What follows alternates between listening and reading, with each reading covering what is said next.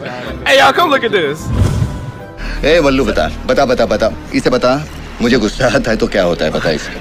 मेरी एक टांग नकली है मैं हॉकी का बहुत बड़ा खिलाड़ी था। एक दिन उदय भाई को मेरी किसी बात पर गुस्सा आ गया तो मेरी हॉकी स्टिक से मेरी टांग के चार टुकड़े कर दिए। लेकिन दिल के बहुत अच्छे हैं फॉरन हॉस्पिटल लेके गए ऑपरेशन करवाया नई टांग लगवा दी ये स्टिक दी थोड़ा खर्चा दिया और बस बस बस हो